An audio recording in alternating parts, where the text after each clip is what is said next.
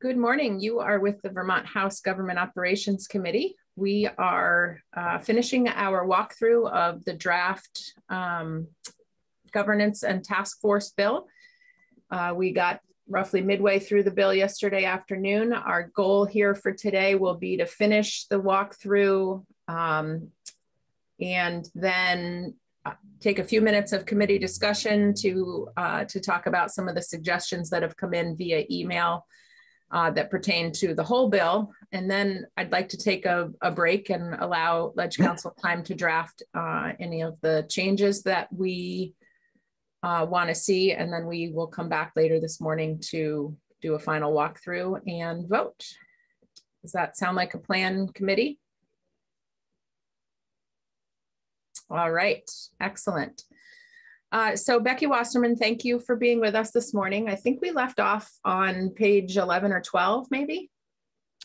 Yes, um, we left off on page 12, section three. Um, and I, I did uh, make changes based on yesterday's discussion, but for right now, as you said, I'm gonna just go back to draft 1.2 that was that's posted from yesterday. Um, so Becky Wasserman, Legislative Council.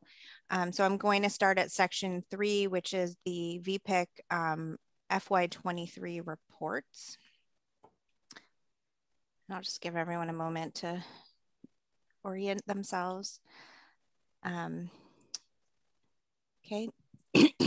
uh, so this section uh, requires that the committee by January 15th of uh, 2022 develop written policies for implementing both the asset allocation study um, and the asset and liability study that's required under their new uh, duties of the committee and has to make that policy publicly available on the committee's website. Um, one point I wanted to make here was that there's another re um, report, the annual reports from VPIC are the language says that that should be on the treasurer's website. And um, when rereading this, I saw that this was um, to be posted on the committee's website. So I just wanted to point that out um, just to ask the committee if they wanted to make those consistent and if so, which which website it should be posted on, which I think that the, the committee actually is part of the treasurer's website. Rep Gannon. Thank you. Um, that was going to be my point. I, I don't believe VPIC has a separate site from the treasurer's site at this point. However, I mean, that may change in the future as it becomes more independent, but currently that's not the case. Um, so for, in case it does change for the purposes of statutory language, um, should I just uh, say that it should be publicly, made publicly available um, without specifying the website? I think that makes sense. Agreed. Okay. okay. Um, then in subsection B, uh, by July 1st of this year, the committee is, is tasked with hiring an independent consultant to review and report on the operations of the committee and the retirement division of the treasurer's office um, and make recommendations on best practices and necessary actions to transfer the committee to a standalone entity. Um, the report is also going to be looking at um, a review of budgetary authority, frequency of trainings, um, transfer or hiring of personnel, and compensation. Um, yesterday in the committee discussion, there was a request to clarify that that compensation should be for both the chair and uh, the employees of the committee. So that will be reflected in the next draft. Um, and then by uh, January 15th of next year, that uh, report would be sent to your committee and Senate Go government operations.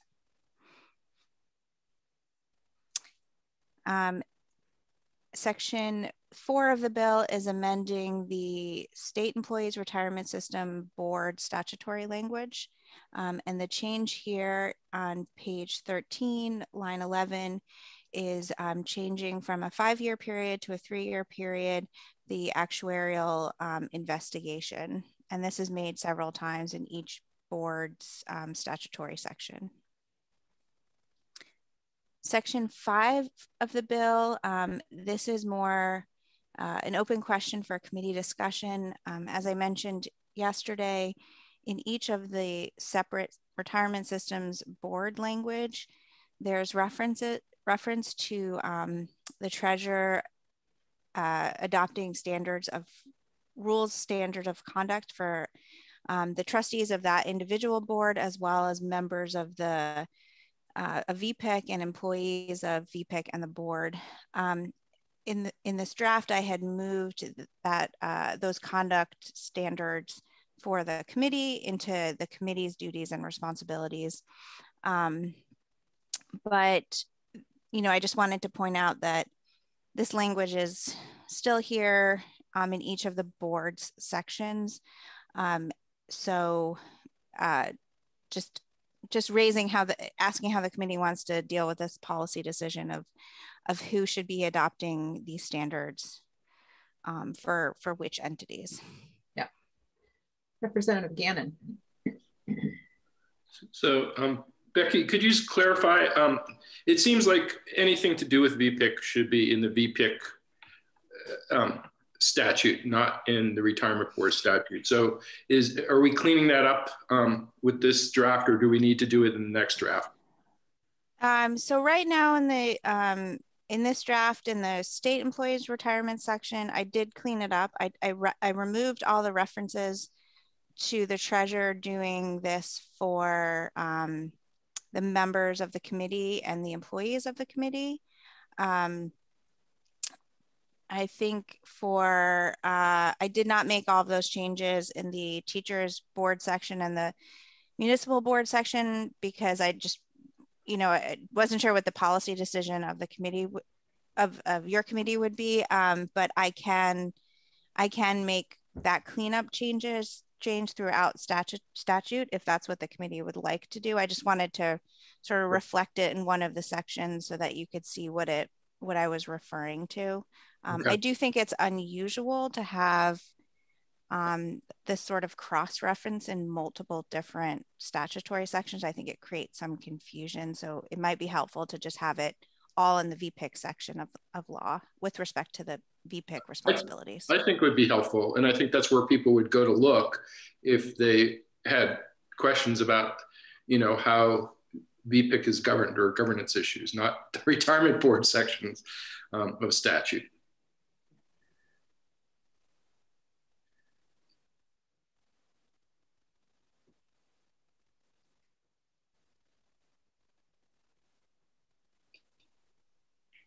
Madam Chair, do, do we want to, to, to propose that change or? I, yeah, I think that makes sense unless someone wants to jump in with a different idea. Not seeing anyone diving in. All right. Thank I'm good you. with that. Thank you, Rob. Okay. Um, okay, so I can make that change for all three systems. Um, so we can kind of go quickly through the next couple sections because that's just uh, repeating that change as well um, as the change from the five year to the three year um, actuarial investigation. So section six is changing that, uh, that time period for the actuary um, in the teacher's retirement system. And that is um, sort of bottom of page 14 to top of page 15 section seven, I'll do that cleanup language in the teachers board um, statutory section with respect to the standard of conduct. Um, section eight is uh, the five to three year change in the uh, municipal employee board. And then section nine is the uh, standards of conduct for the municipal retire, retirement board um, language. Um, so that brings us to section 10, which is the uh, pension task force. Representative Gannon. Um, Madam Chair, perhaps before we go to the task force section of the bill, we should discuss um, the proposed changes that came from the chair of VPIC, Tom Golonka um, because those apply um, to this section of the bill, um, yep. not the task force. yep. So the, um, I think those suggestions were sent to all of you via email. So um, go ahead and, and review that, Rep Gannon. Okay. Just pulling it up. Um, so his first proposed change um, dealt with the independent definition. Um, he suggested that instead of, of excluding people who were not independent because they may be a beneficiary of a pension, um, that we just require disclosure around that. Um, the reasoning being that with over 50,000 beneficiaries in the state of Vermont, um, that it's likely that a lot of people will be captured within this um, and exclude a lot of people from being able to serve on VPIC. Um, so rather than, you know, a prohibition from serving on VPIC, this would just be a disclosure requirement. That's the first suggested change. How do committee members feel about that suggested change? All right, I'm seeing some thumbs up. Uh, in in a small state like Vermont, it's not hard to get to, to get close to uh, beneficiaries of these two systems. Um, so I think it makes sense to allow for disclosure there. And uh, Peter Anthony, do you have a question? Okay, back to you, Rep Gannon. Okay, okay. so his second proposed change um, deals with um, term limits uh, around alternates that his recommendation is past time serve as an alternate um, be specifically excluded um, with respect to um, term limits. you know, his, his reasoning is alternate positions are excellent training ground. Actually, uh, Tom Golonka came up as a, VMERS alternate. Um, so that was his suggestion. Um, having thought about this uh, quickly this morning, um, one thought is that um, is that we retain that alternates have term limits um, at, similar to what members do, but that those term limits or their time served as an alternate does not um, count towards their service as a member. So, for example, if somebody serves as an alternate um, for three terms and they then gets appointed as a member, they could serve a full three terms as a member of VPIC. I think we accomplish, you know, not having somebody just stay on VPIC forever and ever, um, but give alternates, you know, a training ground and then give them an opportunity to serve as a, a full full member of VPIC. I think that accomplishes what Tom Golonka does, but maintains some control over how long people serve um, on VPIC. Uh, Rep LaClair, on are you responding to this point? Uh, yes, I am, Madam okay. Chair. Um, that that concept actually makes a lot of sense to me. Um, I think it, it, gets to a lot of the things that we're trying to get to. Plus, it lends itself to some continuity that I know there's been some concerns about over time. So I, I think that's a, a good idea. Okay. Um, other folks on this point, Rep Anthony, are you on this point or I am, Madam Chair. Go ahead. As the reset guy, I think Tom's suggestion is really a, a, an ideal way to meld the continuity issue with the stay too long issue. Thanks. Rep Hooper. Uh, point of clarification, maybe. Are you saying, John, that uh, since both the alternate and the primary of the subcommittees the sub boards are elected or appointed at the same time. Uh, it would seem, if I understood what you just said, that somebody serving as an alternate for three terms would then be term limited out of serving any more time. And the primary person would also be limited by the term. Is that what you're saying? No. Um, what I was proposing was that there would be term limits for alternates. Um, so they could only serve um, four terms, was it three terms? Four terms, three terms. uh, four terms, three. Three. Sorry, I'm getting confused there. Three terms as an alternate. However, that would not preclude them from serving as a member, and their time served as an alternate would not count to their time served as a member. Does that does that clarify what I said, Representative Hooper? Yes, thank you. Uh, Representative Colston. Uh, thank you, Madam Chair. Um, I would like to uh, agree with the member from Barre Town. And I see this as a way of developing wisdom for the committee. So I think it's a great idea. All right. Any other committee discussion on that? All right. Back to you, Rep. Gannon. Okay, so number three, I, I think number three is resolved. Um, let me, well, first let me explain what number three says. Um, it, it, basically attaches the current listing of members um, and, you know, just notes that um, in, in, Tom's situation, I was appointed 2012 as an alternate to VPIC for VMERS before be, became the voting member in 2015 and chair in 2016.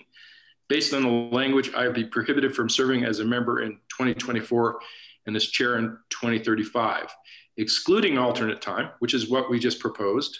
Um, uh, that would increase that to 2028 and 2038 respectively. So I think we've addressed um, number three. Um, Representative Hooper. Uh, thank you. Uh, Representative Gannon, uh, we don't need to acknowledge or make a distinction that um, Tom is actually an employee of VPIC when we talk about the term limit or giving consideration to prior service? Is there a nexus there with employment law at all that we would effectively say you're out for, for no cause other than time? I don't think there's a an employment issue with respect to that. Okay. I mean, you every people have contracts for specific terms. No, I'm raising it. I'm not advocating yeah. one way or the other. I don't know that everybody knows that he's actually an employee.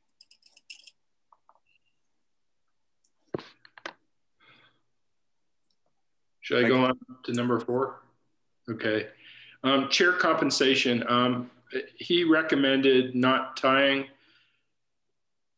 uh, that, that, it should be reviewed after the expected consultant review is completed. Um, and he would recommend not tying it into a salary. I'm not going to go into what he recommends there, but the suggestion is that instead of tying it into the report of the independent consultant, that we have VPIC report back to us um, next session on January 15th, 2022, with a plan to address um, the chair's compensation. Um, so that would give them some time to come up with a plan about how they want to address it. Um, Representative Anthony.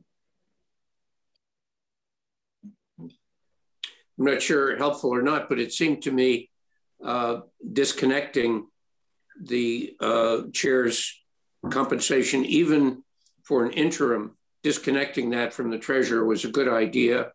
Um, I, I, was prepared to simply say, why don't we set a, a, a, a level of pay for the chair until such time as a compensation study uh, is presented to us, and then we can change that uh, rather than continuing the tether. But uh, maybe this is just as well.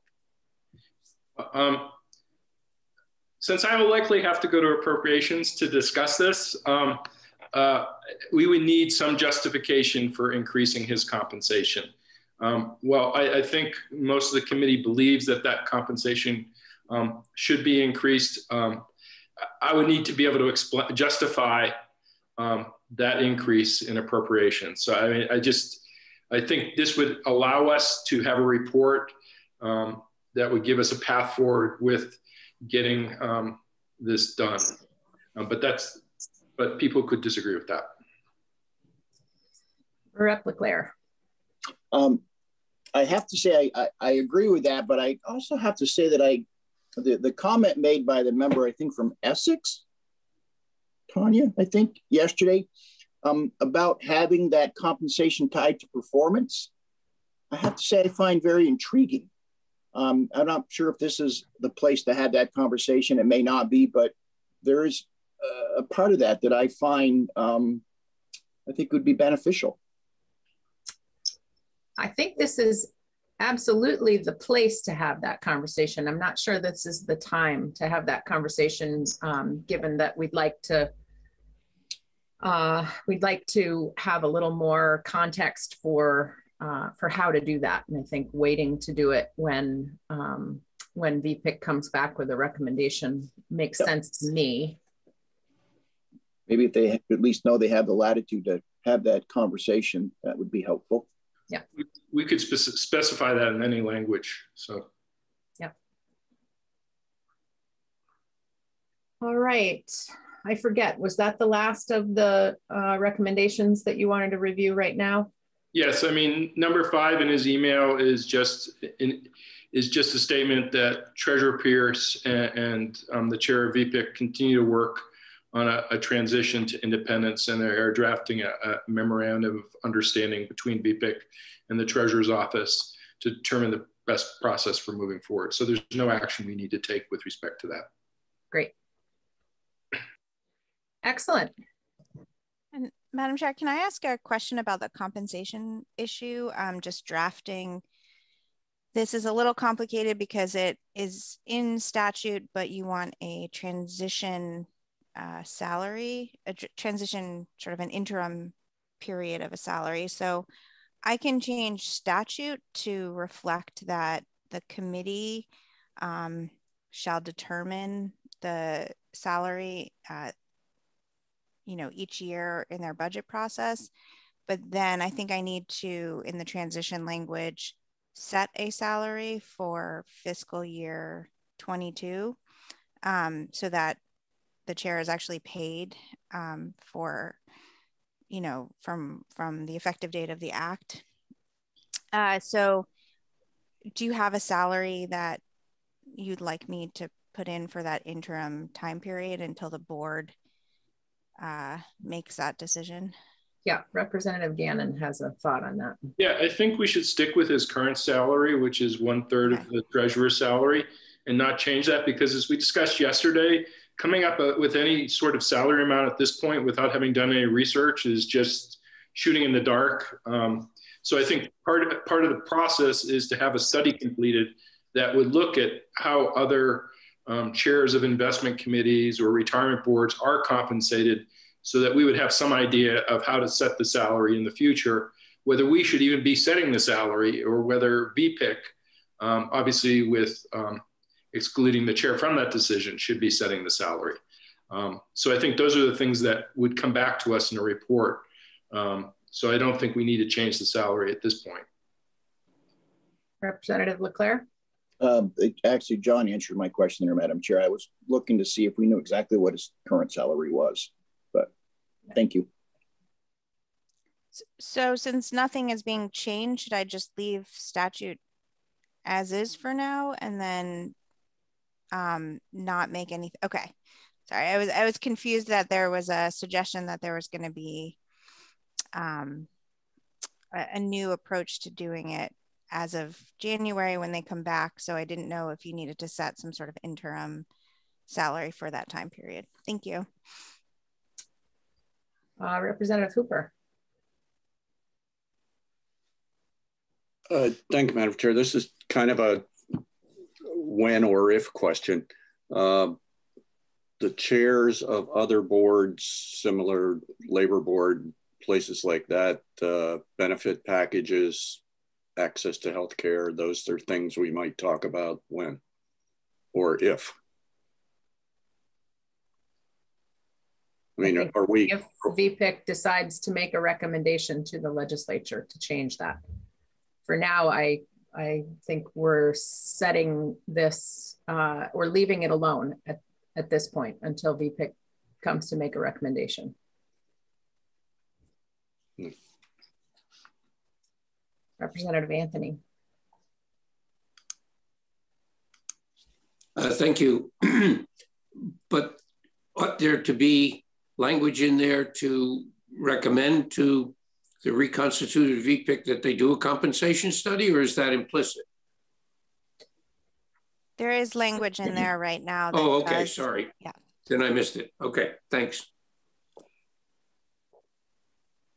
All right, back to the draft. Okay. Um, so I believe we're on um, section 10 now, the task force language. Uh, subsection A creates the task force, which is the Pension Benefit Design and Funding Task Force to review and report on the benefits, design, and funding of retirement and retiree health benefit plans for the state employees retirement system and the state teachers retirement system. The membership of the task force is three members of the House, um, not all from the same political party who are appointed by the Speaker, three members of the Senate, not all from the same party, appointed by the Committee on Committees, uh, the Director of the Retirement Division of the State Treasurer's Office, uh, Commissioner of Financial Regulation, the Commissioner of Human Resources. There are three members appointed by the President of the Vermont NEA, two members appointed by the VSEA, and one member of the uh, Troopers Association who's appointed by the President of the Troopers Association. Um, the members, um, the, the House and Senate members shall not be direct or indirect beneficiaries of either system. Uh, so moving on to page 19, the members appointed, um, the uh, NEA member appointments, the VSEA and the Troopers Association appointments um, shall not be currently serving as a legislator or the spouse or partner of anyone serving as a legislator. Um, there's new language in subdivision C that says um, if a, des a designee is uh, appointed in someone's place and approved, that um, that person shall be the only representative of the designator to participate in the task force proceeding. So you can only designate one, one person to take your place. In terms of the powers and duties of the committee, um, so the committee is looking at recommendations about benefit provisions and appropriate funding sources, along with other recommendations that are it deems appropriate for consideration that are consistent with actuarial and governmental accounting standards, as well as demographic and workforce trends, um, and the long-term sustainability of the benefit programs. Um, and then there's some specific uh, tasks that are listed here. Uh, so first is setting a pension stabilization target number for each system that one reduces the uh, actuarial accrued liability based on the actuarial value of assets by a sum that's the same amount as the increase in from fiscal year 21 to fiscal year 22 that was reported um, for both systems in the most recent, the June 30th, 2022 um, actuarial valuation and review. Um, and then the same for the um, actuarial determined employer contributions, um, it has to reduce, they're looking to set a number that reduces that amount um, by the same amount that we that you saw in the increase from F year from fiscal year 21 to 22 um, for both of those retirement systems. Subdivision B, um, the task force will be doing a five-year review of benefit expenditure levels, as well as employer and employee contribution levels and growth rates, um, and a three, five, and 10-year projection of these levels and rates. Um, based on benefit and funding benchmarks, uh, any proposed new benefit structures would be done with the objective of adequate benefits within the established cost containment benchmarks including an evaluation of a shared risk model for employee contributions and cost of living adjustments, um, and, and an estimate of the cost of current and any proposed benefit structures on a budgetary pay-as-you-go and full actuarial accrual basis. The task force would also evaluate the intermediate and long-term economic impacts to the state and local um, I think that should be economies, I'll make that change, of proposed changes to benefits or contributions and their potential impact on retiree spending. Uh, they would also be evaluating any cross subsidization between the groups um, in the state employees retirement system and adjusting contribution amounts to eliminate any cross subsidization. Uh, the on the top of page 21, uh, the task force would evaluate alternative plan designs.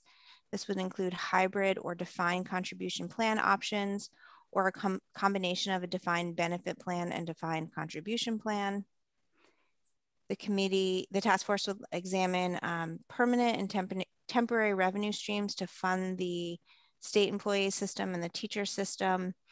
Um, and there, uh, there was some language that was in the previous draft that also said uh, including contributions from the state and employees to achieve benefit and funding benchmarks. Um, and I didn't, uh, that was just a question for the committee on whether that should still be, be in this um, particular uh, responsibility. Representative Gannon? Two things. I, I think the language in H is the language that we want, and I think we could eliminate that other language. Um, and another, and I just thought of this last night, and so this is new to everyone. Um, may, with respect to that, we've been focused on revenue streams, um, but there may be another issue, way of addressing some of the concerns um, state employees, teachers have about changing their benefits. And, and you know, I, I think um, there one option we may want a recommendation for is whether um, all or part of pensions are tax exempt, um, because that's another way, even if we were to um, reduce pension benefits, if they became tax exempt, um, at the end of the day, it, there may not be any impact on the state employee or teacher. Um, so I just, that might be another tool in our toolbox that we want the task force to have. Do you have thoughts on where you would put that suggestion as a as a an additional line or uh, uh, Madam Chair, I, think it could probably um, go into H because that's sort of addressing um, the tax issues, um, but it could be a separate a separate one. I would put it right under H if we were going to have it a separate subsection. Okay. Uh, Representative Anthony. Uh, thank you, Madam Chair. John, I, I really, I like that idea on a lot of levels. Just to be real clear, though, we ought to probably talk specifically about income taxes uh, and, not just use the general moniker. Um, obviously, it's implicit, it's Vermont, because we don't have jurisdiction to change the federal. So, uh, but I would be real clear that that's the category we're talking about. Thanks. Good comment. So committee, how do you feel about um, including that in the next draft to look at? Allowing the task force to look at the alternative of making uh, pension income untaxable. All right, seeing thumbs up all around. Nobody's screaming. That's good. Thank you, Representative Gannon. Does that uh, go along with military pensions as well? oh, just kidding. Different bill, different committee, Representative Higley. It's already in. yeah, but it's germane.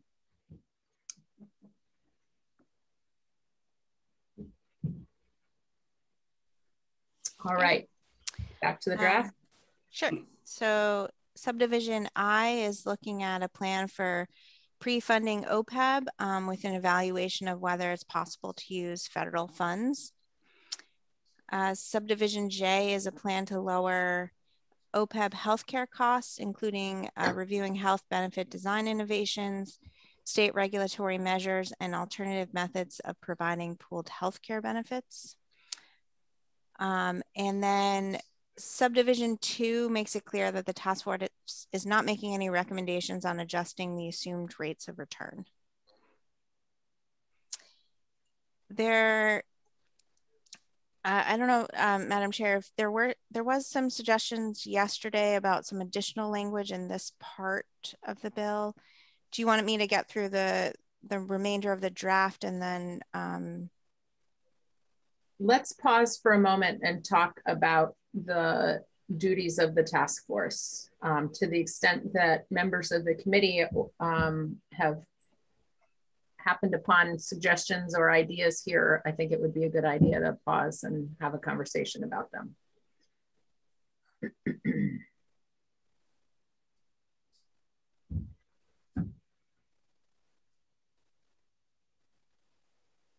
Anyone have a suggested change? Rep Vyhovsky.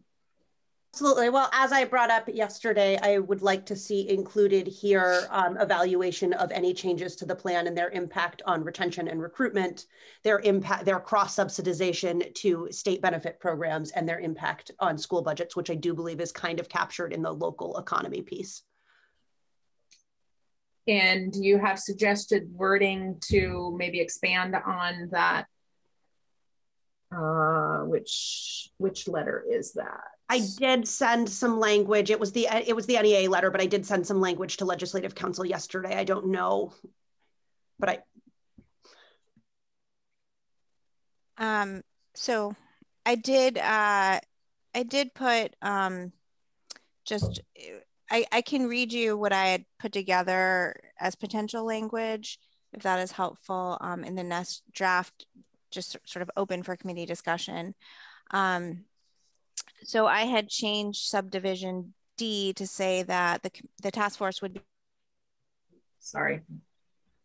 I, I accidentally muted you. My apologies. Um, the task force uh, subdivision D evaluating um, proposed changes to benefits or contributions with respect to um, first would be the intermediate long-term economic impacts to the state and local economies and their potential impact on retiree spending. Second would be impact on recruitment and retention of members of state, uh, sorry, of state employees and teachers as compared to the current benefit structure and contribution rates. And then uh, last would be pre-retirement and post-retirement welfare and financial security of uh, one, state employees and teachers who identify as female or as a member of the BIPOC uh, community. And two, state employees and teachers who um, I think this language needs a little more clarification, but who has uh, perhaps a family income of a certain percentage less than the federal poverty level during their years of active employment and during their retirement. I, I think the open question would be what that percentage level would would be for house, household income. Right. Representative Gannon.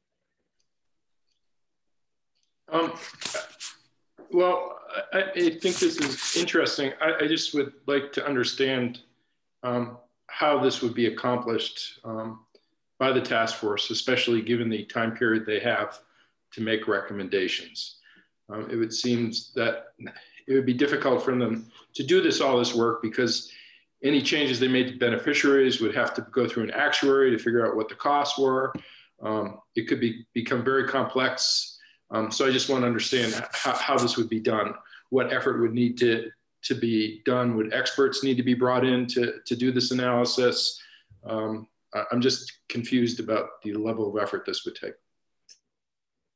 It also occurs to me that it's possible there's a consultant uh, that or a stakeholder that we could direct the task force to hear from so that there is the expectation that this information will be presented to the task force, not that the task force is going to do a deep dive into, into that um, in their limited time. And so I wonder if there's some way we could designate um, that this information come from somewhere else and be put in front of the task force. Rep Vyhovsky. I am unmuting. My intention is that this information is used in any decision made and that it is not that we are looking at the whole picture and not simply making a decision now that actually will have longer term detrimental impacts to our retirees and potentially our taxpayers and our state. Um, how that information gets put in front of the task force, I'm I'm not an actuary, I'm not a financial expert. I don't I don't know, but I do think it is important information and it is incredibly short-sighted not to include it in our decision-making process. If that looks like getting it from another source and putting it in front of the task force and mandating that they use that in their decision-making, I'm I'm certainly fine with that. But I do think it is incredibly important that it be included in the calculus. Uh, Rep. LaClair. Um, thank you, Madam Chair. I um, uh, my concern is is that this task force um, they've got a very heavy lift in front of them. They're we're asking them to do a lot, and uh, I'm not sure if this information um, that we're talking about here one is even available to be considered and used in deliberations. And I have to say, there's a part of me that feels a little uncomfortable separating this group out. Um, we're, we're looking to make this equitable for everybody. Representative Anthony? Yeah, I, I'm just um, thinking about your comment, Madam Chair. I wonder, um, one of the reasons I thought it was important to have the uh, Commissioner of uh, Human Resources there is precisely because that office would be nearest, if you will, to the issue of retention, uh, people um, retiring early, perhaps leaving the state, uh, all those kinds of uh, influences that were uh, are, are um, at least in the background, if not uh, immediately suggested by the task force work. work.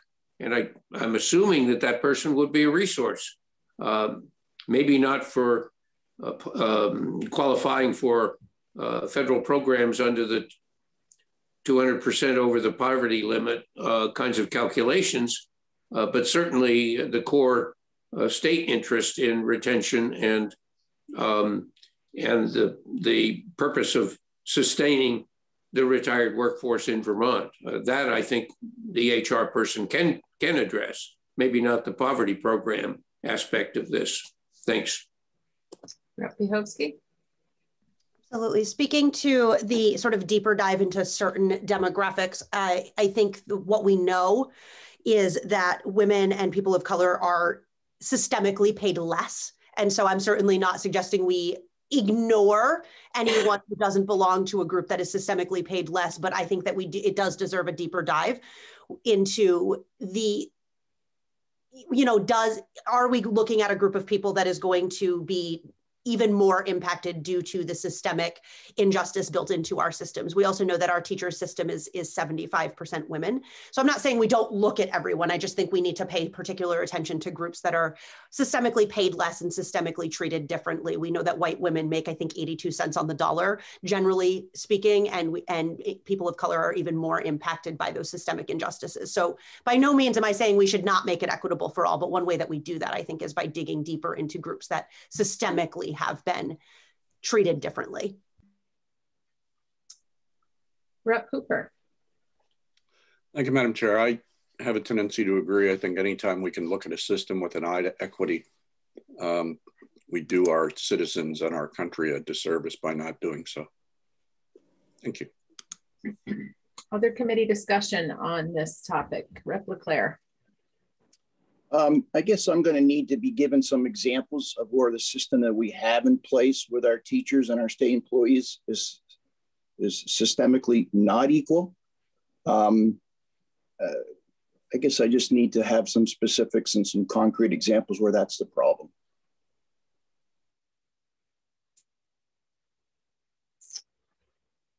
So let's flag this as uh, as a an area of concern. I I'm not yet hearing consensus around the addition of an explicit um, change to the duties of the task force, but I'm wondering if there's a way that we could get this information in front of the task force um, by designating a stakeholder who might present uh, valuable information to the task force.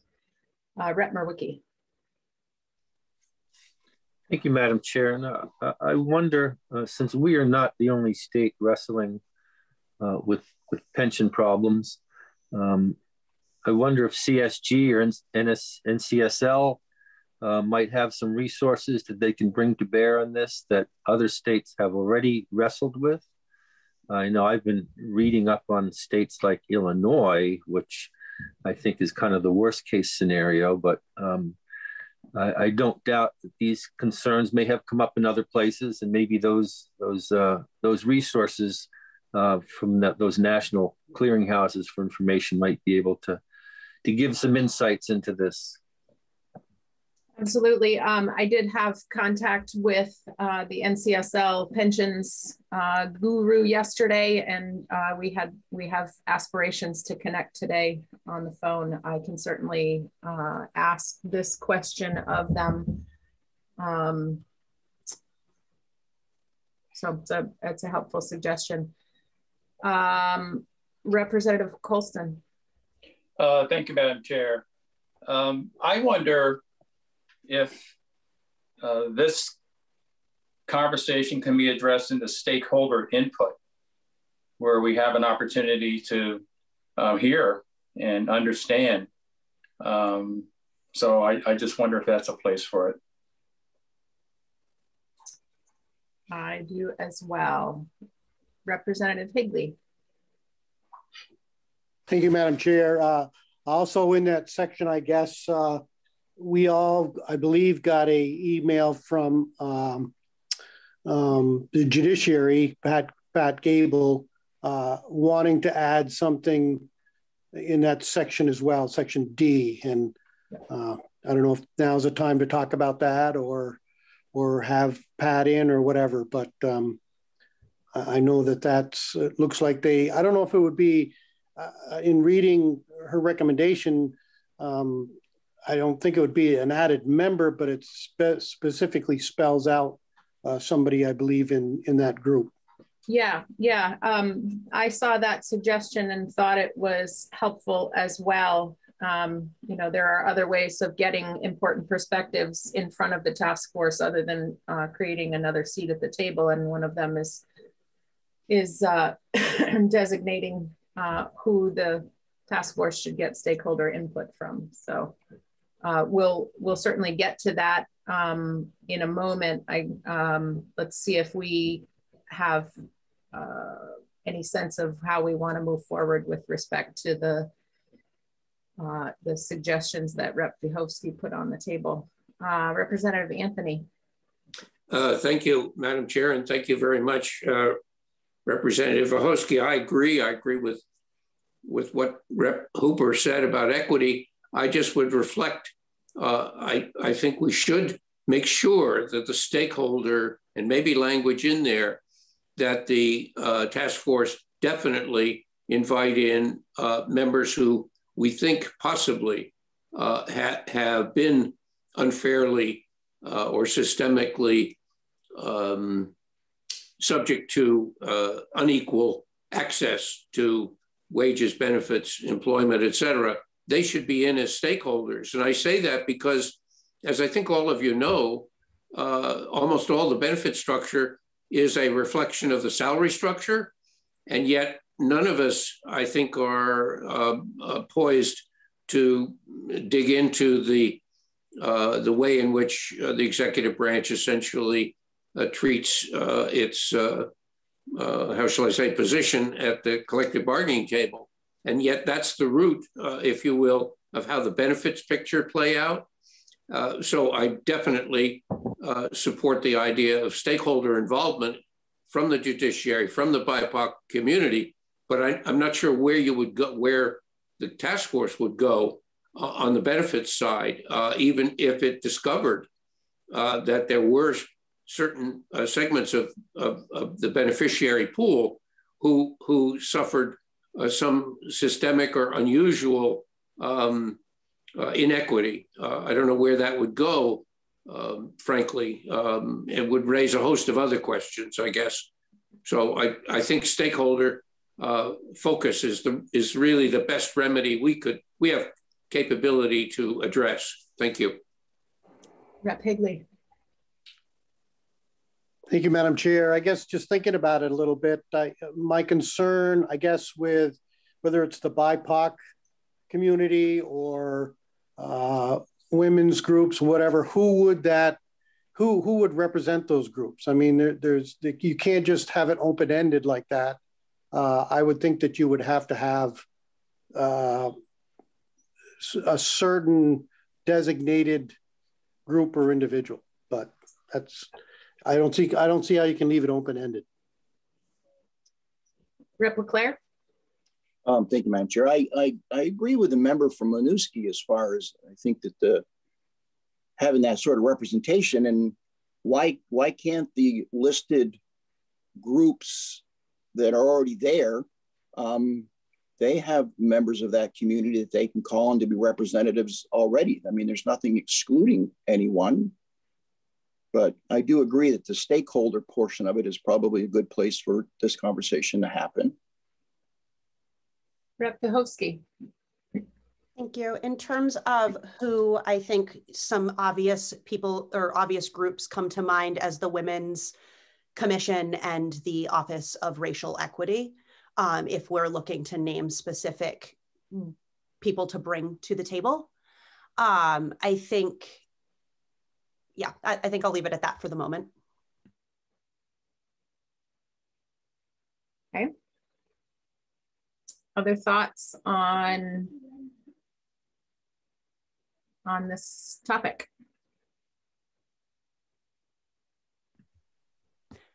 Can All I right. back in real quick? Yes. I, I, clarified my thoughts a little bit. Um, I think that sort of in looking at this and looking at a profession that is dominated by women who, again, we know systemically are underpaid um, compared to their male counterparts, I think it is just really important that we look at the impacts to that community with changes that we make. Um, and we know that we are, you know, coming through this pandemic, women have been inordinately impacted. Women have had to leave the workforce. I think it's really just important that we look at how does this impact that? How would changes impact that community? I, I was having a harder time earlier sort of articulating why, why it was important that we specifically look at groups that are inordinately impacted and we know that those same groups um, have so it so it isn't so much looking at specifically or only looking specifically within this, but sort of the larger picture. Does this further move us in a an inequitable direction if we make X change to a benefit to a larger group? So I just wanted to kind of suss out as I was kind of processing in my own head how to word that. So how does the committee feel about adding um, a, a, section in the stakeholder input that uh, directs the task force to hear from the Commission on Women and the Director of Racial Equity. Representative McCarthy. Thanks, Madam Chair. Uh, I don't, I, I think that the task force should absolutely look at the equity issues that Representative Vyhovsky brought up. I'm trying to, in my mind, figure out if the best way to do that is to specifically tell them to talk to certain people specifically give them issues that they should discuss or to trust that the makeup that we've put together that has you know three NEA representatives on the task force that they would be people who would bring those equity issues that affect the professionals in their the the group that they represent. Um, so I'm I struggle a little bit without seeing language in front of me, and we know we're so close to trying to get this bill on its way that um, I think you know if there was a specific proposal, I kind of feel like we're floundering all over the place trying to get our hands on a really big issue of equity, kind of at the uh, the eleventh hour. Um,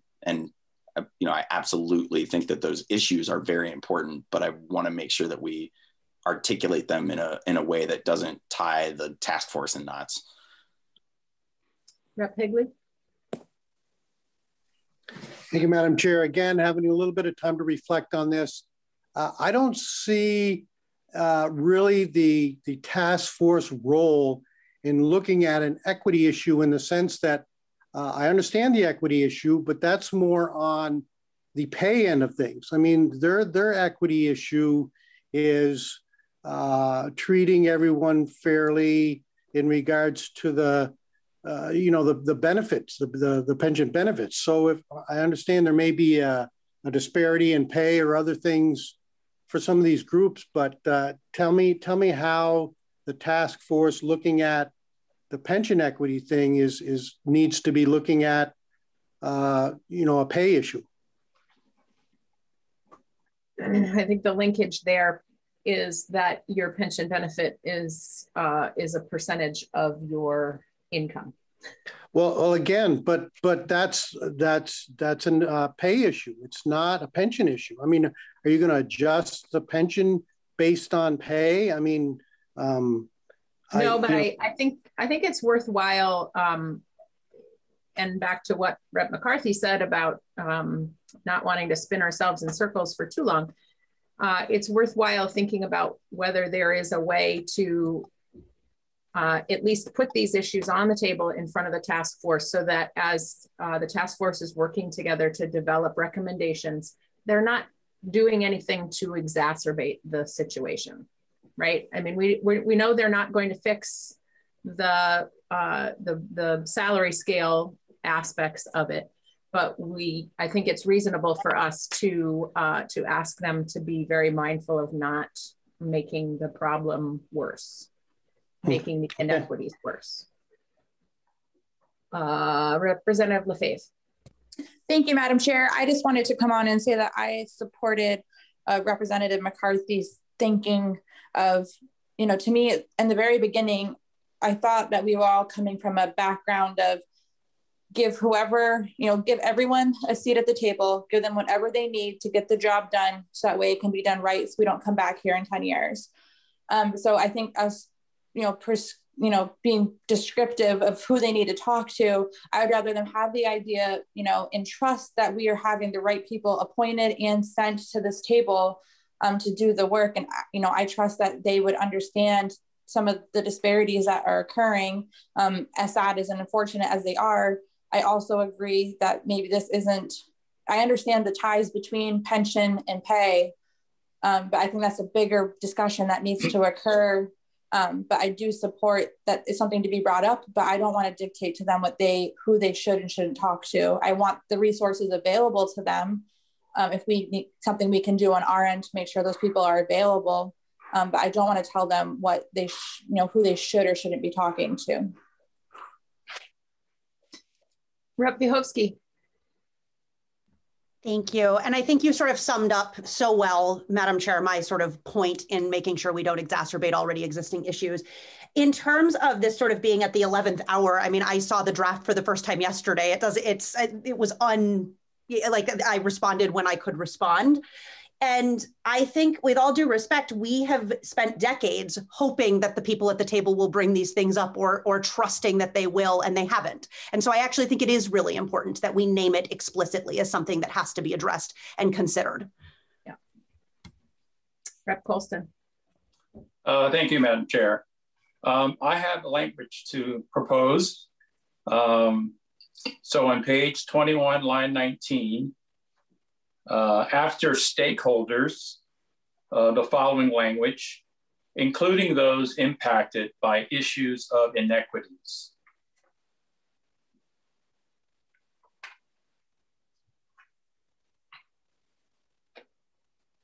Committee discussion?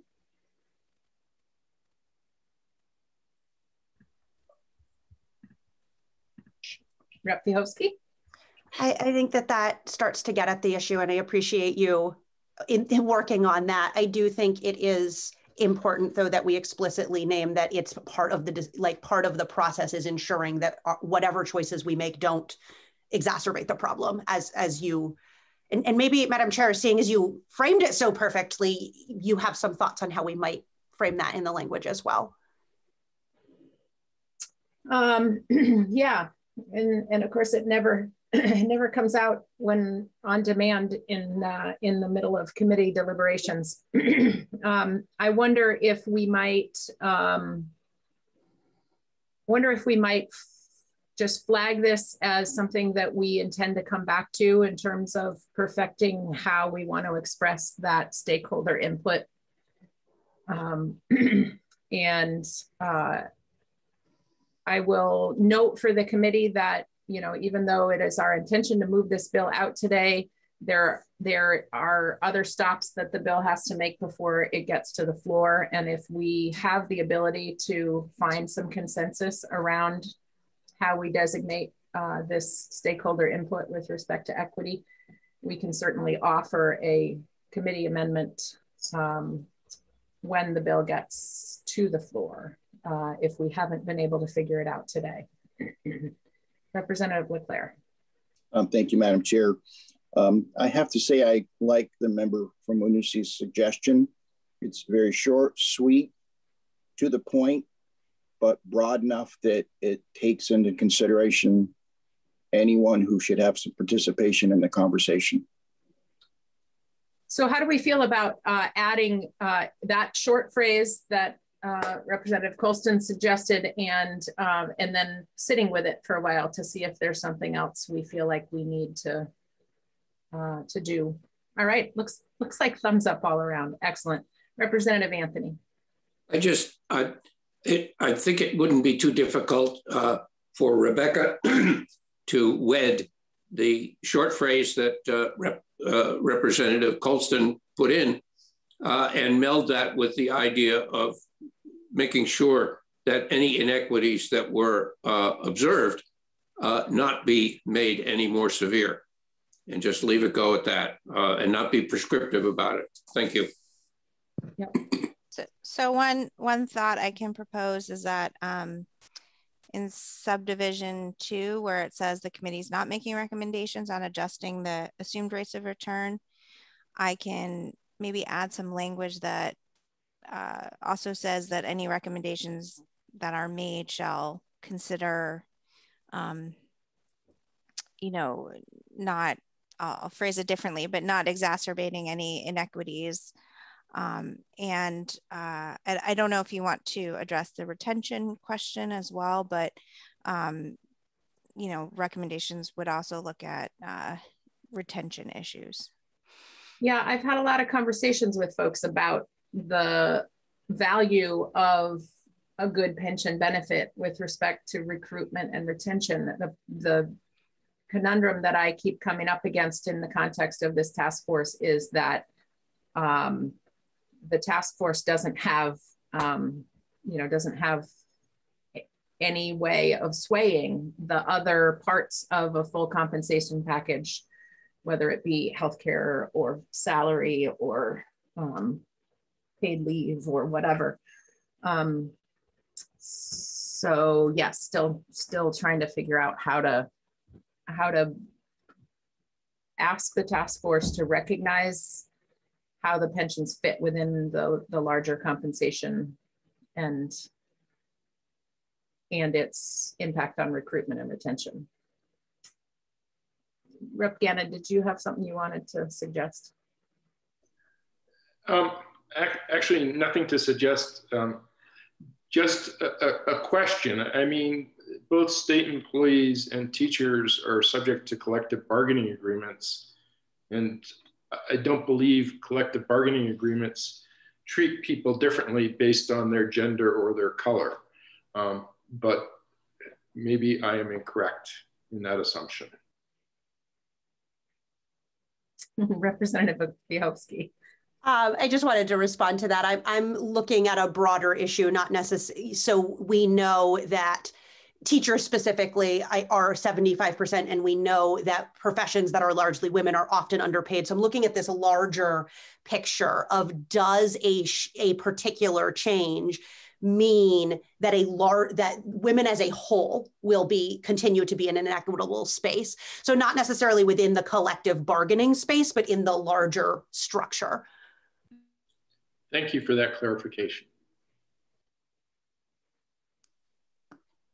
All right, so let's sit with this um, with the intention of adding uh, the short phrase that Representative Colston suggested. Um, Becky, if you have, if you want to put that language in front of us and, and we'll take a look at it on our next walkthrough um, after we've had a chance to sort of digest and process this.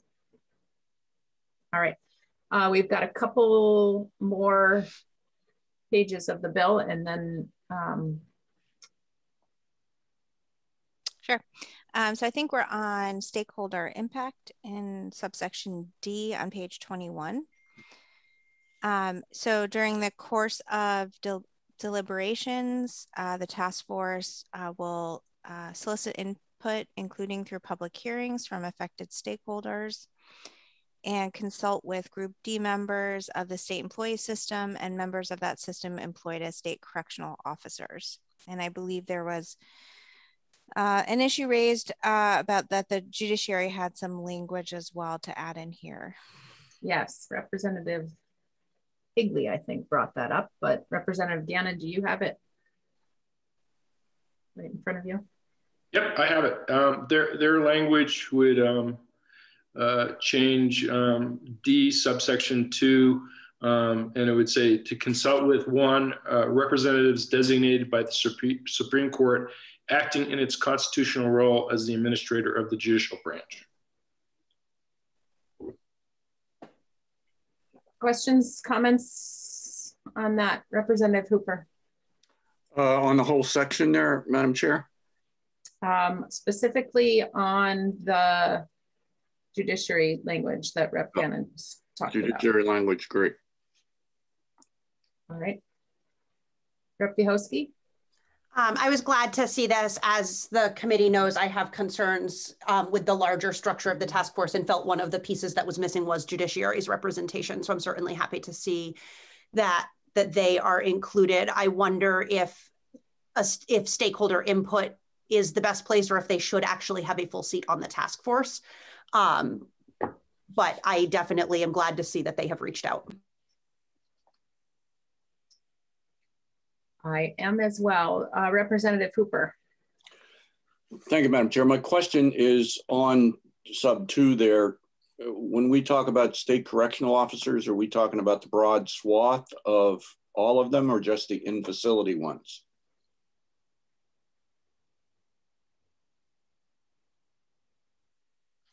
The language doesn't specify. Um, I think it's it's trying to capture all correctional officers. Um, it's, it's not specifying those that work in a facility. Okay. Because the probation and parole people are technically that. It's a pretty broad category. Representative Anthony.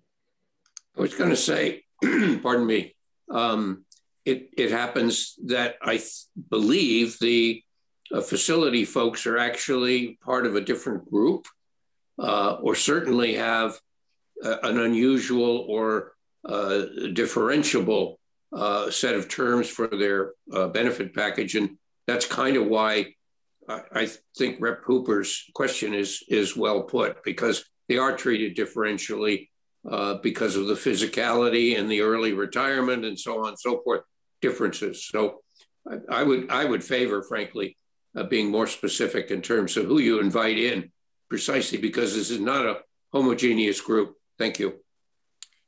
Yeah, and and I would just say that I think the language was attempting to capture everyone because it would be uh, because every because uh, members are in that category are in different groups. It would be uh, harder to name everyone specifically. So this was the the intent was trying to um, be very broad here so that um, anyone would would feel that they could be consulted on it. Um, but of course, the committee can have a policy decision to specifically name certain um, types of uh, employment categories.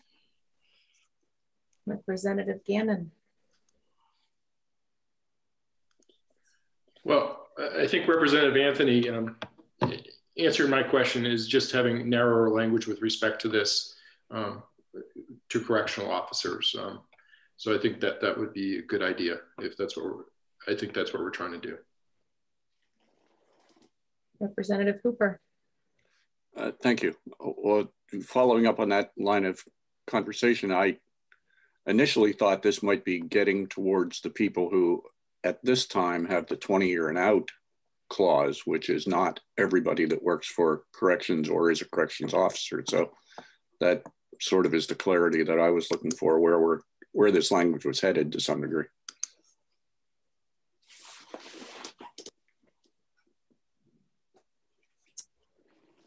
Other committee discussion suggestions, comments? All right, let's uh, let's be specific about uh, uh, folks within the correction system, and we'll take a look at the language um, after we've seen Group D reference separated out from that and see if there's anything else we need to add. So I think I might need a little more guidance on what specific uh, groups, or I guess not a, a pension group, but what specific specific members you would like um, listed. Anyone have a suggestion on how to specify?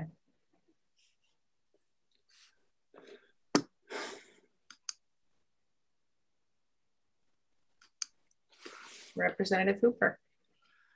Well, again, I don't know how specific we can be without knowing what we're trying to do, but I mean, the, the current 20 year early out provision is directed towards people who work in facility. Um, but a corrections officer is also somebody that goes out and does home visits to make sure your battery's charged in your ankle bracelet. Uh, you know, it's pretty broad. I don't know where we're trying to go with this language, so consult on. So, so is it just why. referencing anybody who is employed by the Department of Corrections? Would that be rather than saying correctional officers?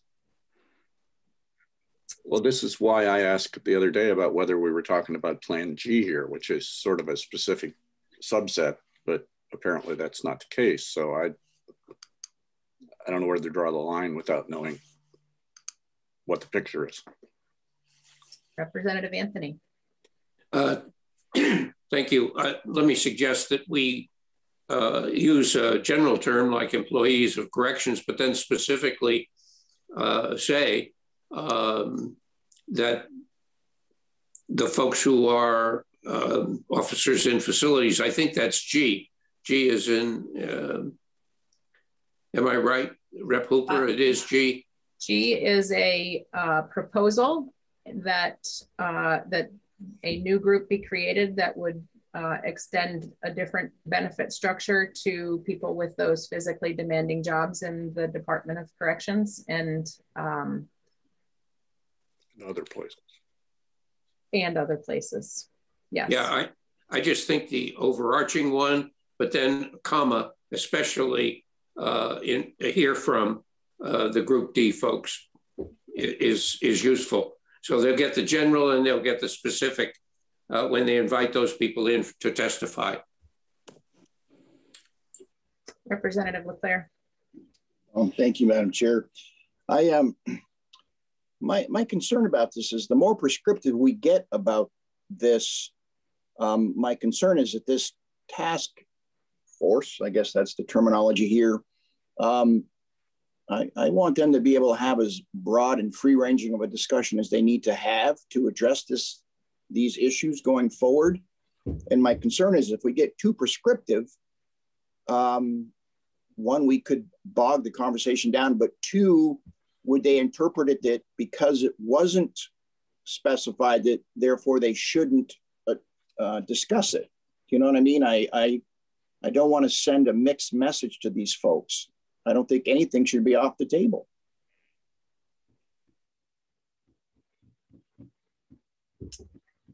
So Becky, let's uh, let's take a look at a draft that specifies um, that this they should get stakeholder input from employees of the Department of Corrections, and we'll leave it at that.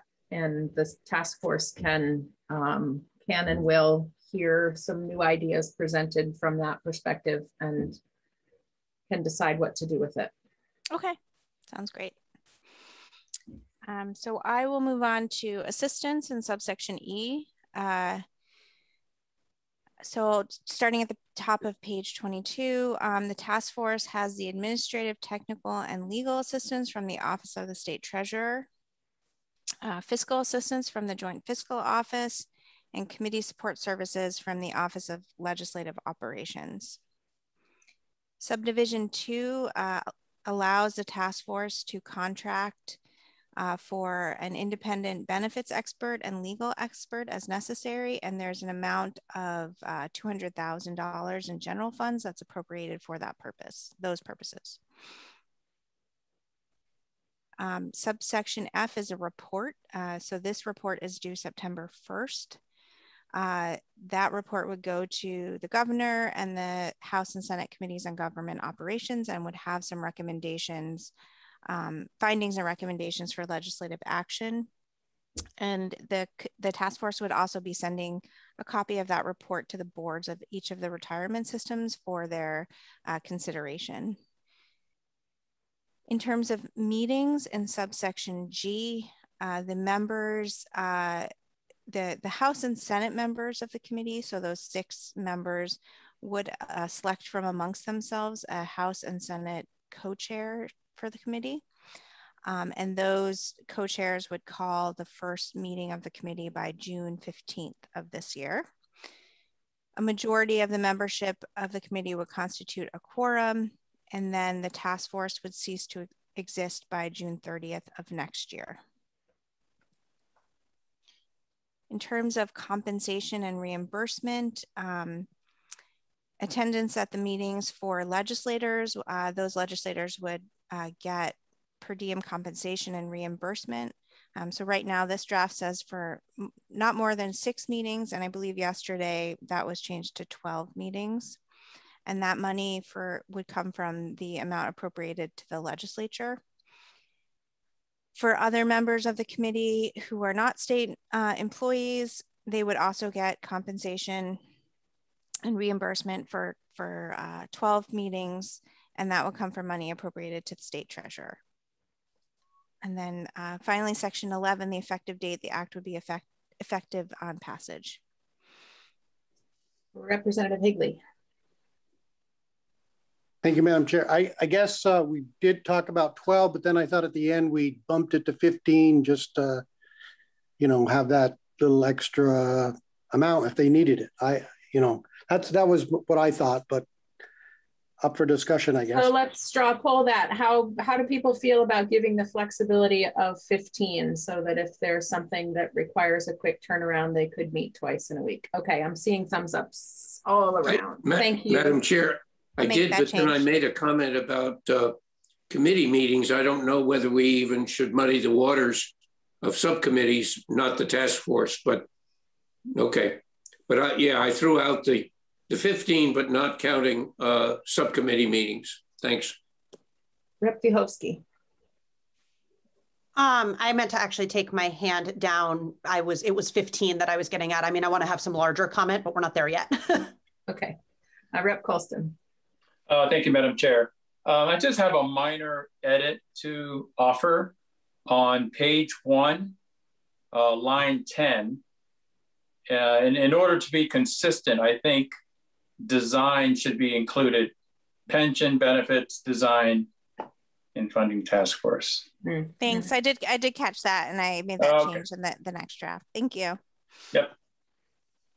We can always count on the member from Winooski for his um, very fine uh, proofreading skills.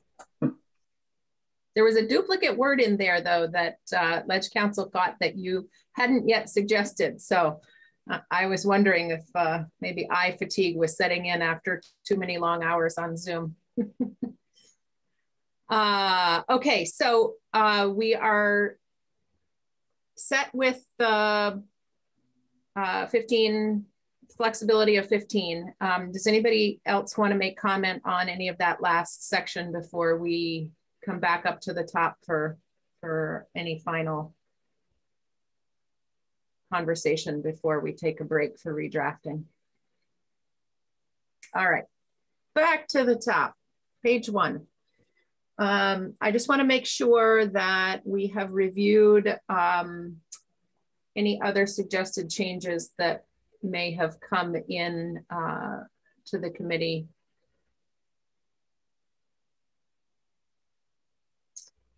Representative Hooper. I hesitate to go back, but the last thing I had suggested that if the committee decides they need more time, joint fiscal consider be considered to give them a a window to go a little longer. Is that not favorably considered? I notice it's not in here. Let's open that up for committee discussion. I, um, I mean, I have thoughts about it, but I don't want to try to sway the, the open committee discussion. Rep McCarthy? I feel very strongly that we should put a hard date and try to get the committee to get us a report. And, you know, we've never put anybody in chains for being a week or two late on these kinds of reports. Uh, but I think we've all acknowledged the urgency. Um, you know, we are doing this and setting up this task force to be responsive and give more time, but we need this these recommendations and we need them so that there is time for people to respond, for legislators to get up to speed, and for us to take action next year. So I feel very strongly that we should set a hard date and have the commission, the task force work to that date. Rep Vyhovsky.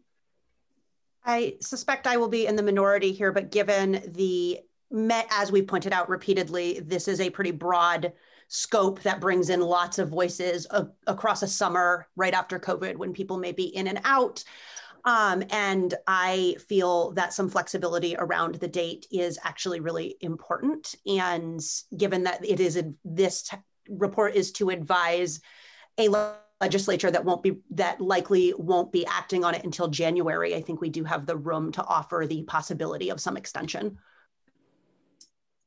Representative LaClair. Um, thank you, Madam Chair. I agree with the member from St. Albans. I think that a, a hard date that gives somebody something to work towards, and I'll add that the number that we're trying to address here continues to get larger by the month. I think what I would want to add to this conversation, and this is really um, fairly internal to the workings of this committee, uh, as much as we might have wanted to think that uh, that we're going to adjourn in May and come back in January. Uh, we have this little task of um, getting input and feedback from boards of civil authority around the state with respect to redistricting plans. And so we have a lot on our plate for this fall. And uh, to, so to the extent that we can uh, hope to have this report in September. Uh, I think it will be to, to the benefit of um, staging that workload that we have within committee. Um, and Rep McCarthy makes a very good point that um, we don't throw the report in the trash just because you missed the deadline by a week or two. Um, Representative Hooper. Thank you, Madam Chair. I'm not addressing the issue of the report being generated. I'm addressing the issue of whether or not the committee has adequate time when they get backed up against the real decision-making process to get everybody in, everybody talking and reach agreement. At this point, we have it set at June 30th, six months from normal convening. And even that would be 60 days before the scenario that you lay out. I I would hate to see this be rushed just because we have placed an ironclad deadline on it. Thank you. Any other committee discussion on the topic of deadline flexibility? Um, could I just add? Oh, sorry. Yes, go ahead, Becky. I, I just wanted to add from, um, I guess, a, a, drafting perspective that um, I think it's less typical to have a uh, another authority granting uh, an extension of time during um, the interim. I think it would either it might make more sense just to push the date back. And part of the reason I'm saying that is also that for appropriations purposes, um, because you are allowing them to meet for a certain number of meetings.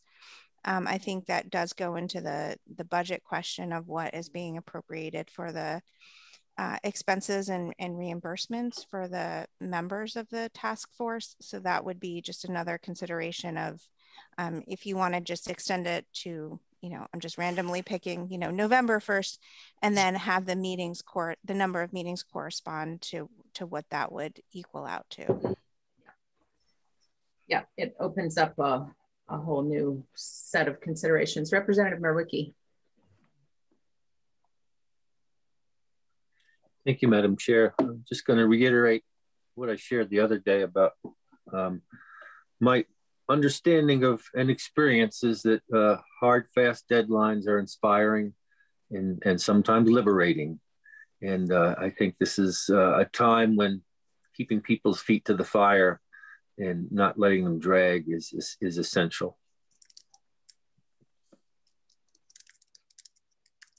Okay, so I'm, I believe I'm hearing not unanimity, but um, a majority consensus to leave the deadline where it is um, without specifying uh, any ability to extend that deadline.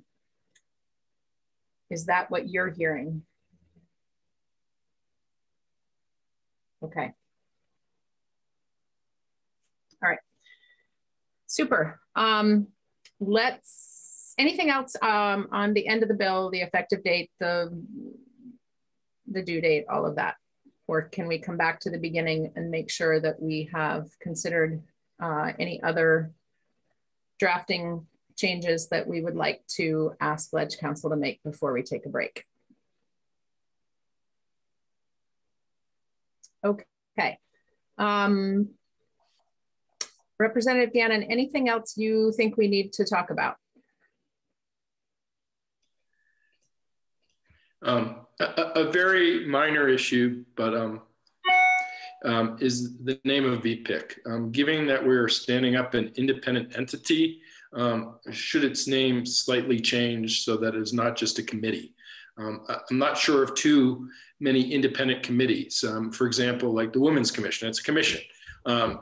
The Equity Panel, I, I, mean, so that's just minor, minor point, but I, I don't think we stand up too many independent committees.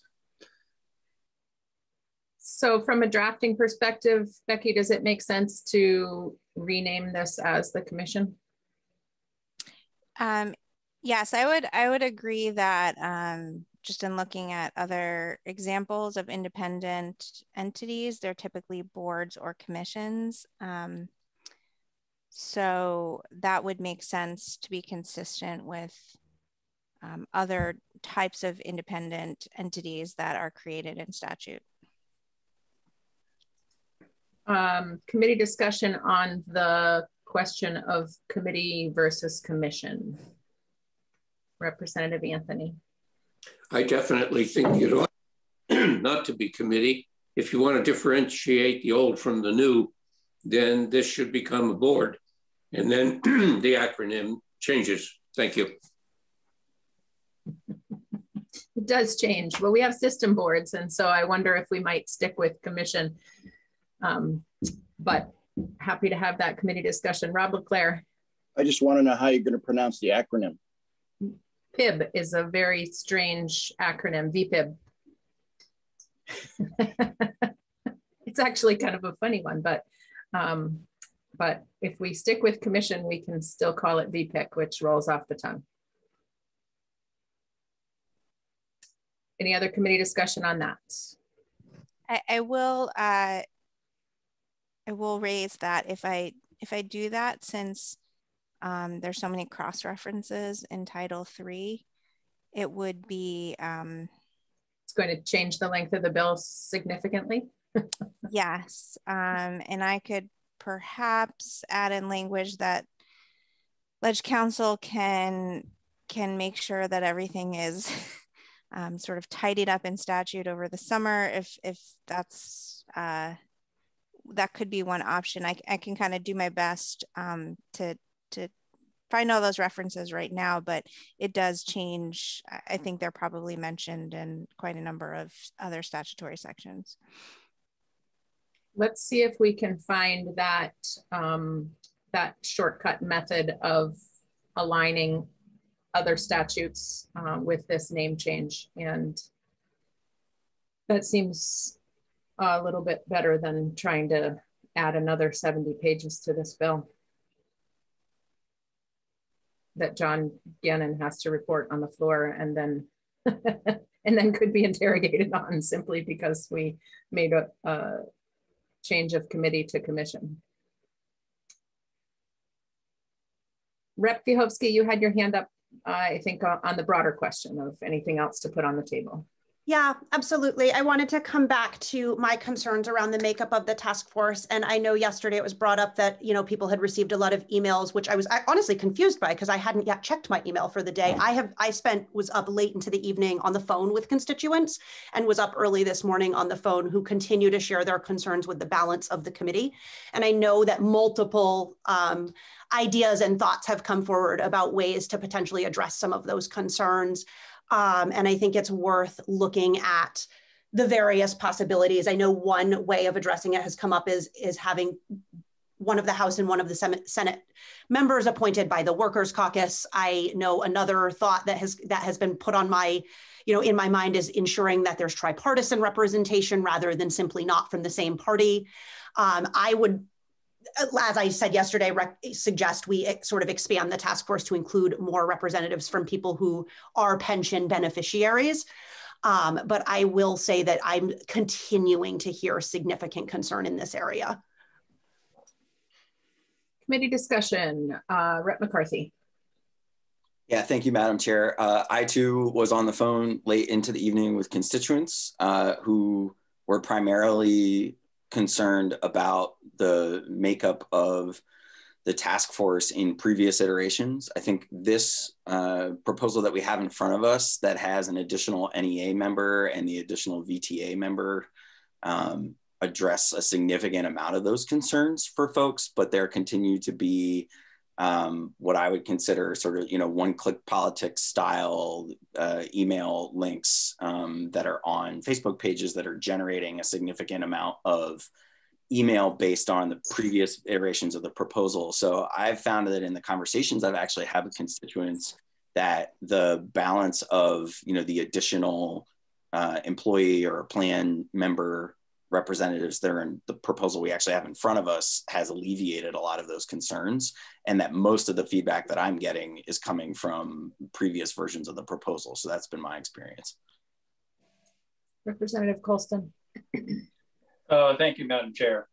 Um, i learned from um, a certain um, union leader that the concern of balance was one of tripartisanship and I, I directed him to the section in the bill that speaks to that as members will be chosen and, and not to be of, of the same party. And, and that, in my understanding, satisfies the issue of balance.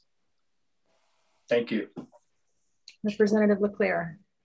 Um, thank you, Madam Chair. I, I too have spoken to several people over the last several days about this, and obviously it depends on which version that we're referring to. But when I've had the ability to speak with the folks, um, usually over the phone, by the way, um, when we can differentiate the difference between VPIC and I guess the task force, um, more often than not, there's a higher comfort level that they are comfortable with VPIC as far as it's only on the investment side that they're looking at things.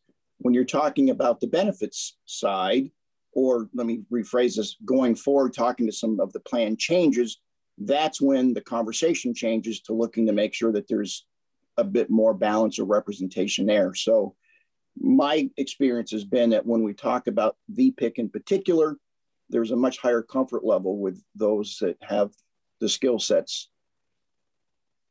Yep. Rep Vyhovsky?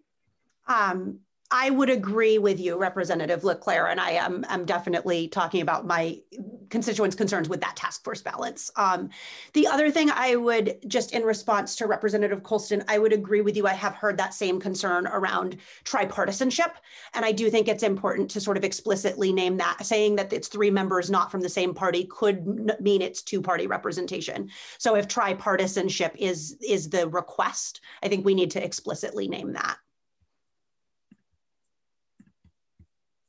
Committee discussion on that point? Representative Hooper. I, certainly have no objection to including as many and as diverse as possible. So I would support that as a support, period. It gives everybody a little bit of buy-in. And I think in this process, that is one of the most important things we can do. Representative Mrowicki. Thank you, Madam Chair. I'm going to raise a concern about fair representation here if we're going to look at tripartisanship. Uh, let's look at the numbers that Vermonters have elected their parties. Um, both in the House and Senate, the, the, the majorities are pretty clear. And uh, I think if we're going to give equal standing to um, a party that has 92 caucus members to one that has what seven or eight, uh, I'm not sure how that creates a level playing field here. Uh, so I'm going to hold up that concern. I think we're being very generous here in suggesting that we have members of different parties. But when we look at the numbers that Vermonters elected us, that it comes across very differently from my perspective. Uh, Representative LaFave. Thank you, Madam Chair. I was saying I agreed with the comment uh, a couple before that I agree there should be tripartisan representation, but going off of uh, Representative Mrowicki's comment, um, I do feel that in different parts of Vermont, there might be different population or different parties elected higher. Um, but then once you get again into other parts where we still have participants of these plans, you know, plans, there is higher, uh, you know, some of the numbers might not be as reflective as other portions. So I would agree to try to urge to have the tripartisan values at the table. Representative Gannon. Um, for, first, an overall comment about the makeup of the task force. I think we've worked very hard in listening to everyone who's had feedback with respect to the task force. And I think we've made substantial changes um, to in increase the balance of representation on that task force. Um, so we've tried to listen to people. And in conversations um, I've had with union representatives, they appreciate the work that we have done um, to change the balance. Um, they may not be totally happy with what we did, but I think they know that we are trying to make an effort to ensure that there is a balance on the task force. With respect to the legislative representatives, um, I, I think as many people have stated, we need skill sets on the task force that it can address this pension issue. I would hate to tie the speaker's hands to have to nominate somebody from the from one of the six members of the Progressive Party um, with respect to whether they have that expertise or not. I think we need to put the best legislators who have the, the, the correct experience on this task force, regardless of which party they are. Um, this is a heavy lift. Um, and I really don't think it is a partisan issue. Um, I think we all have been trying to work together on this and I think we need to give the speaker the option of choosing who are the best people in the legislature and the committee on committees, the, the, you know, the best people in the Senate to work on this issue. And I think that's the most important issue here. Representative Higley. Thank you, Madam Chair. I approve of the current wording in the in the bill.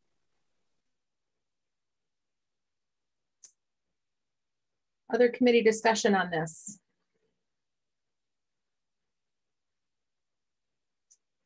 Um, so I think I'm just going to ask a straw poll question to gauge whether we need to continue to work on this. Um, how many folks are feeling comfortable with the wording that is in the current bill?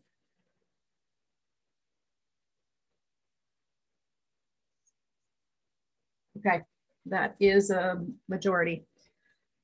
Okay, um, anything else we need to review on over just overall um, before we send Becky off to do some final edits?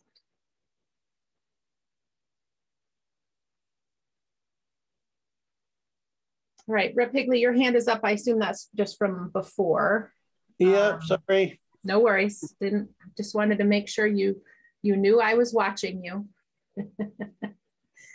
um, so uh, the plan from here is to uh, is to take a break enough to allow time for Ledge Council to do their work on the bill and um, and come back to us with a final draft that we can then walk through.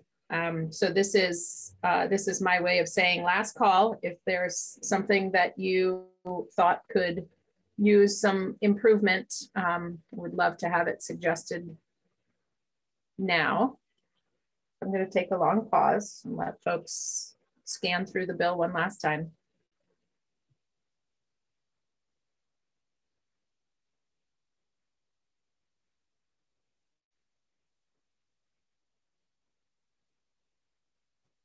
Representative Higley. Thank you, Madam Chair. Uh, I might have missed it, but um, yesterday I don't believe that I heard the actual wording around, I think it was on page 12, number two on, um, now I can't even think about, let me hang on, let me see if I can find it. Uh,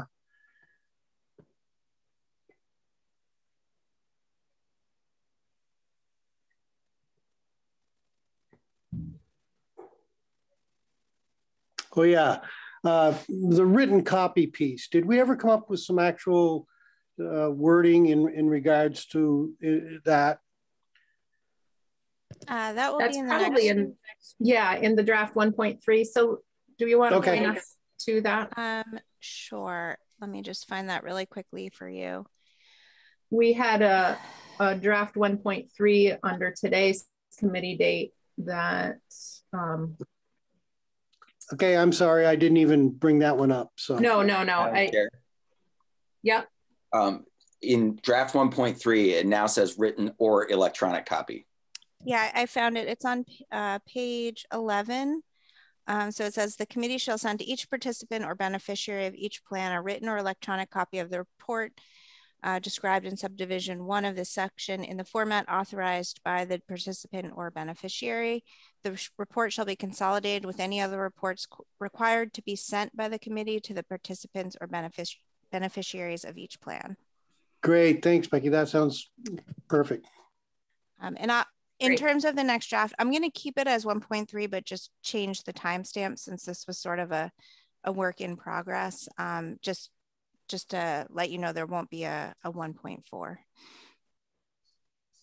yet. Yet. the day's not over yet. Don't yes. jinx us.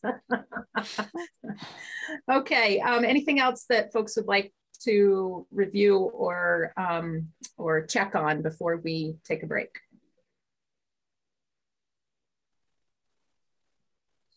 Okay. So you need 30 minutes or so to draft and then um, help me understand the time frame then for editing and how best to uh, allow time for that. So I can send it to editing as soon as uh, I have a draft ready. Um, I, I, gave them a, a, heads up that it will be coming their way, so I don't know how long it will take, but it might be best for for me to just go come back to the committee with what I what I have the unedited version and then um, just wait for them to get it back to me and it'll probably come sort of while I'm walking through. Um, and if there's any sort of significant changes, I can I can let the committee know that. Okay, that's great. I'm, I'm, I'm hoping we're not making too many changes that it won't be uh, significant. Yeah, so we will have uh, the ability to to look at uh, an edited draft before we um, before we vote on it. That sounds great. Uh, so committee, it is 1050 right now. Um, how about 1120 to give 30 minutes break to uh, to finish the redraft and um, and get that sent off to editing. 1120 sound good? Okay committee, have a nice 30 minutes. I hope you get some fresh air and sunshine and I will see you back here at